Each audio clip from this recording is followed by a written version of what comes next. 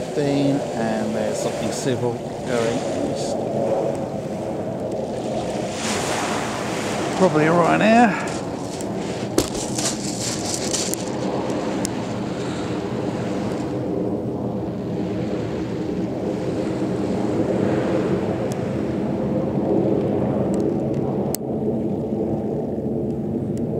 As F15 is going round and round Weybourne, North Norfolk coast.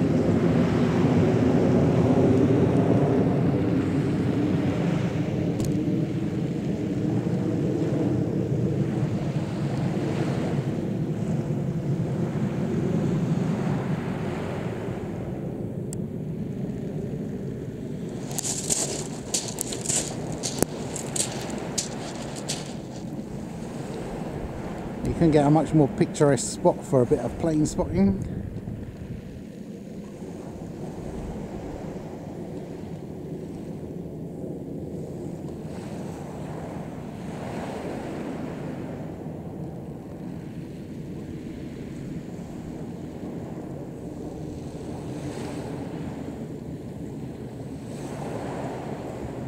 And he's about to come back out again over the coast, heading out to sea.